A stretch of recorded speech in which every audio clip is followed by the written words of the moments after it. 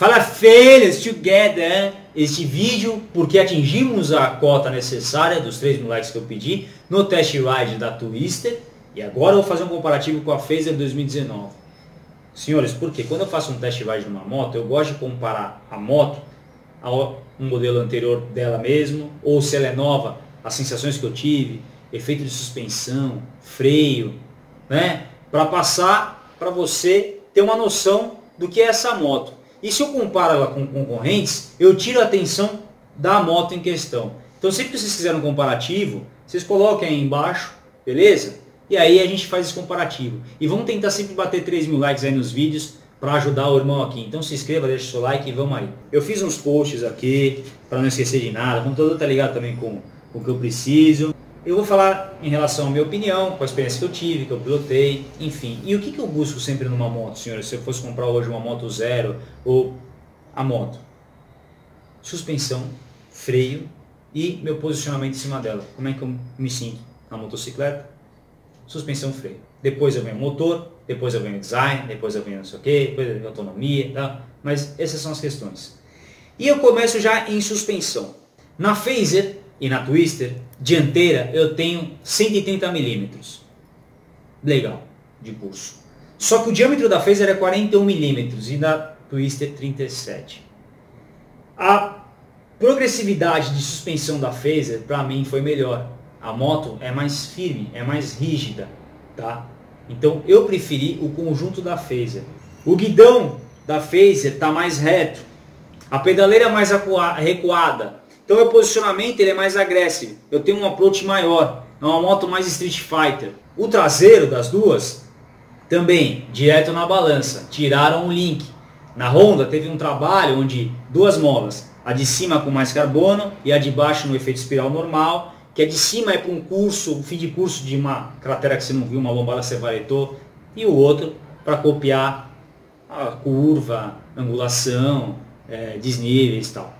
Só que a trailer também foi retrabalhado, tá? Mas no todo, eu senti, mesmo com essa questão, essa tecnologia que a Honda fez, a Phaser mais estável de conjunto, tá? Então, de suspensão e meu posicionamento, eu gostei mais da Phaser. Agora, tem um porém. Como o escape foi retrabalhado na Phaser, tem um ronco luxo, mas ele fica um pouco mais para cima, se eu fico com o pé na ponta da pedaleira, se eu não tiver atenção e deixar ele descer um pouco, fica em cima do escape e aí vai queimando a sola do tênis. E na Twister já não tem esse problema. Agora, falando em relação à Twister, essa suspensão dela e meu posicionamento é mais ereto, tá? E ela é uma suspensão mais suave. Então, se traduz em conforto também. Então ela é mais landau, mas se você vai pegar asfalto, terra, uma entrega não sei aonde, talvez você prefira uma suspensão mais suave. Questão de banco. O banco da Twister é um banco único com dois níveis, só que ele é mais macio. E o da Phaser é bipartido mais duro. Aí, em banco, eu prefiro a Twister. Pneus. Twister, Rosso 2. Phaser, Sport Demo. Então, ponto para Twister. A Twister vem melhor calçada. Eu já usei Sport Demo, na época que eu fiz a Lander Motage também era Sport Demo, mas o Rosso 2, muito mais grip, bem melhor, esquenta mais rápido, tá? É um pneu luxo bicomposto. Então, ponto para Twister nesse sentido. Então, vamos fazer de ponto aqui. Suspensão phaser. Lanternas. Phaser, LED, tudo. Twister, o dianteiro ainda não é LED. Então, a iluminação da Phaser é melhor que na Twister.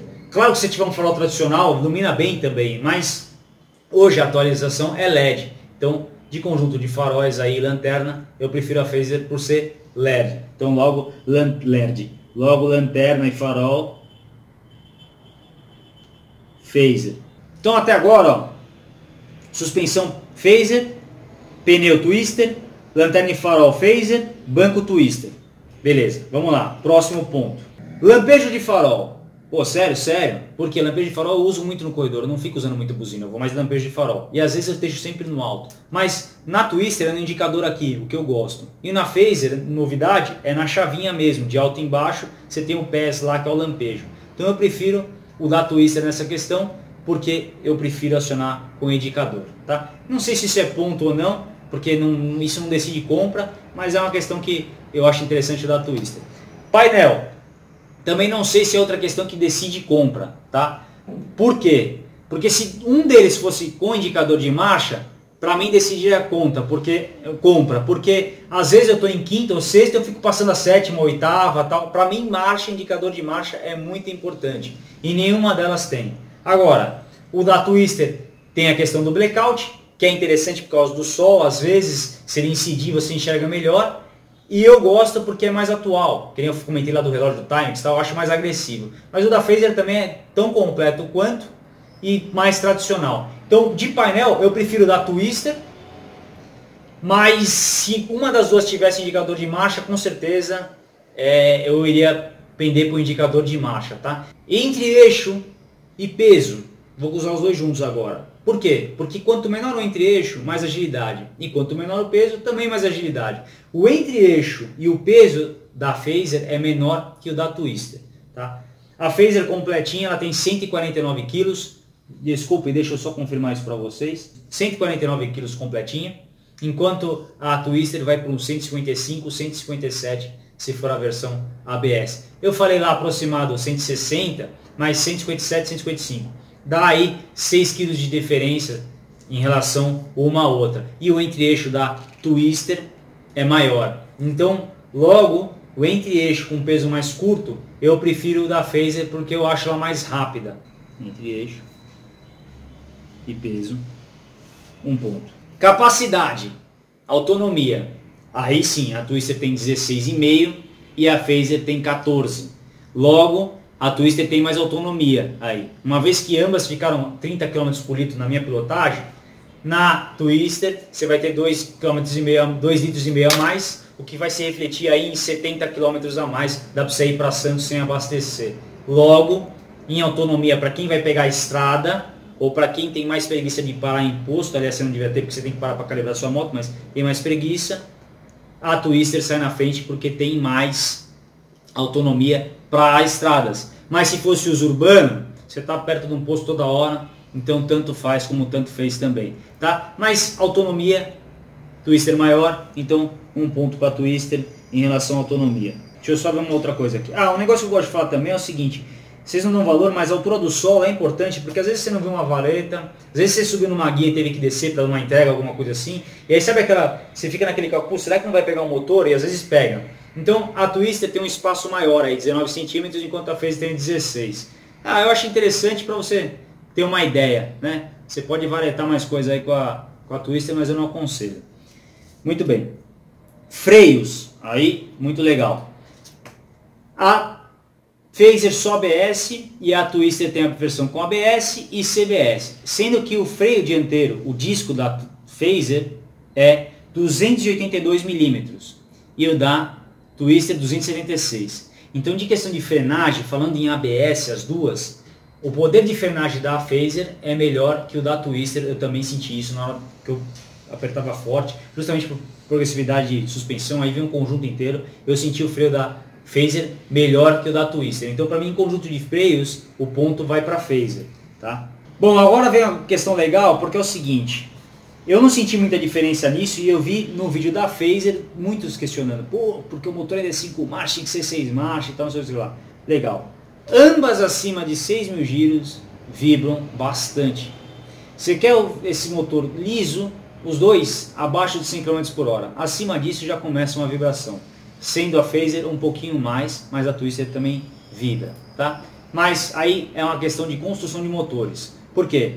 Porque na Phaser eu tive um remapeamento, tá? um trabalho na caixa de ar e visa e um dente na, maior na coroa, tudo isso visando melhora de torque, que é uma melhora urbana, uma moto mais forte, mais rápida de série de farol. Tá? Então a Phaser valoriza o torque e a Twister valoriza o final mas isso é, é, o, é o teórico que no prático, no, prático, no prático fica muito próximo. A puta que pariu que esse Fux. É, isso é uma coisa que no teórico é puxa diferente, mas no prático fica muito igual. Por que, senhores? Porque a Phaser tem um motor de duas válvulas com cilindro, sem camisa, ceramicado, pistão e biela forjado. Então é aquele motor que você sabe que você pode confiar. Que se você quebrou um motor desse aí, você é um especialista em cupim de ferro. Tá?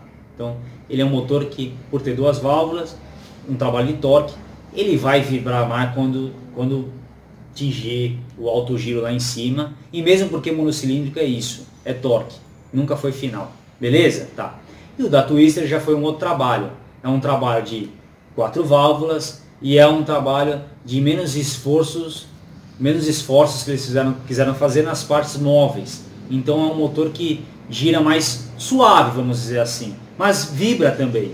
Então é um motor que vai lá em alto giro ser um pouco mais suave que o da Phaser. Então em alto giro realmente o barulho da Phaser é um pouco maior, parece que você está esganando o motor mais, mas a Twister também faz, tá? Mas é questão de duas válvulas, quatro válvulas e o remapeamento de injeção de cada um.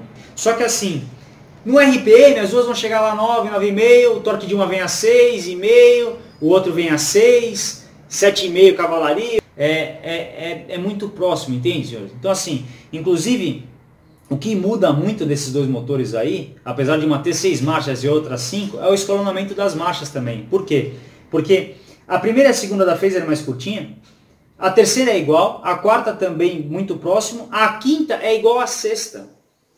Então a sexta que seria um alívio da Twister tá igual à quinta da Phaser, mas a quinta da Phaser tem força nela quase o tempo inteiro. Apesar da Twister ter seis marchas e a Phaser ter cinco, no final ali não deu muita diferença. Eu peguei 146 com uma, não, não deu para pegar mais com a, com a Twister também, mas cara, eu ia precisar de pelo menos uns 20 km ali de reta para poder dar o final dela, porque demora para chegar uma briga. Então assim, talvez de GPS a diferença vai ficar de 4 km para Twister, mas é quase nada, porque a Phaser ela sai mais parrudinha, sai na frente. Então, essa diferença de, de, de KM talvez se sobressaia ou, ou, fique mais ou menos igual por questão de peso também, que eu tenho uma moto que é 5 kg mais leve, entende? Então, é, essa briga que teve de marchas, que a galera falou, pô, tinha que ser 6 marchas, pra mim não, não faz muita diferença. E outra, eu prefiro cambiar menos, então logo a, prefiro um, câmbio, um motor de 5 marchas do que de 6. Se eu quiser resolver alguma coisa, eu ponho um dente menor na coroa na phase, ele vai que vai, sabe? Então, os motores assim são diferentes de funcionar, mas vão chegar no mesmo final e praticamente o mesmo giro de RPM. Tá? Então, aí você prefere o quê? Com seis marchas ou com cinco? É sua preferência. Porque de final é quase a mesma coisa. O torque um pouco mais para phaser, mas sonoro a Twister parece que está espancando menos, tá? Então eu fico dividido aqui em dar, em dar motor, mas vamos lá. Eu vou dar um ponto para torque e um ponto para final, mas porque vai depender do seu uso, tá? O que vai mais bater aqui é a autonomia. Eu acho que a autonomia conta mais do que a sexta marcha, porque na Twister você tem um pouquinho mais. Beleza? Então, é, tô falando da minha opinião, tá, senhores? O motor para mim, essa questão de 5, 6 marchas, não foi grande diferença não de falar assim, não, putz, agora vai. Você quer saber uma coisa? A Nex 300, com 50 cilindradas a mais, espanca as duas de final. Tá? Agora de peso ela toma das duas assim bonito, que a Nex 300 tem peso de, de moto mil cilindradas, né? Então é, vai ter questão que vai perder também. Mas falando assim de motor, cara, não, porque eu comprei, porque o final. Não, não, não, porque o torque dessa aqui e tal. Então isso também tem um torque parecido com, com, com o da Phaser, perde, mas é, é, é, é, são próximos, senhores. Tá? Então de motor aí, fica um ponto para cada um aí também. Aí vai do que você gosta. Você prefere 5 marchas? Phaser, prefere seis marchas, Twister. O preço, senhores, aí me perguntam de preço. Eu não coloco muito preço porque o que, que acontece? As montadoras falam assim, preço sugerido. Aí você chega na concessionária, é totalmente diferente, não adianta preço. Cada concessionário trabalha com preço, depende de aluguel, funcionário, imposto, localização, frete, como vai chegar. Então não tem como eu te falar preço, tá? Agora, a questão é no total, senhores. Aí você me pergunta assim, Turva, aí, seria de phaser ou seria de twister? Se fosse você, eu. Eu, senhores, pelo meu gosto, eu iria de phaser. Tá? Por quê? Porque eu gosto de uma moto que tem uma suspensão um pouco mais calibrada, em relação ao diâmetro da phaser que eu tenho 41 milímetros. Uma moto mais firme e uma posição mais agressiva. Então logo eu iria de phaser, porque autonomia para mim eu não vou pegar estrada com a phaser muito, se eu pegar vai ser um Romeo, vai ser um vovó que é tudo perto de mim, dá para ir sossegado, tá? O conforto é muito relativo, porque conforto, se você busca conforto em moto, é moto trail, não é street, tá? Então eu ficaria com a phaser. Tá? Agora, se eu fosse um cara que, para mim uma moto que é mais suave, mais dandazão, eu considero, pô, eu vou ficar muito tempo mesmo sentado na motocicleta e vou ter que pegar estradas. Autonomia maior, aí sim, autonomia maior, vá de twister, beleza? E é isso. Ah, e outra coisa, se você é um cara meio descuidado, não sabe onde você está passando, não está olhando, essa questão de duas molas na traseira é muito interessante. Então a twister para você vai ser legal se você for pegar várias vezes trajetos diferentes por quê? Porque você tem uma maior distância de stall aí do, do motor para o chão e você tem uma, um, um, trabalho de, de mola pensando no que você não espera na sua frente. Então nesse ponto a Twister é melhor. Você vê né senhores, ó. 1, 2, 3, 5 e aqui 5. Então as duas empataram para mim, só que eu dei um ponto em relação ao painel porque eu gostei mais do blackout, mas ambos falta marcador de marcha, então esse um ponto é meio relativo, tá? Mas se eu tirasse esse um ponto, a Phaser ganhou. Se eu deixar esse um ponto, aí fica empatado. Então, muito parelhas a moto, as motos, né? Mas eu prefiro a Phaser. Ambas dá para você fazer o interno, urbano, e ambas dá para você pegar a estrada. Beleza, senhores? É isso. Espero que vocês tenham gostado. É nós total. Um beijo em vossos e aguardo o próximo vídeo, porque estamos together total.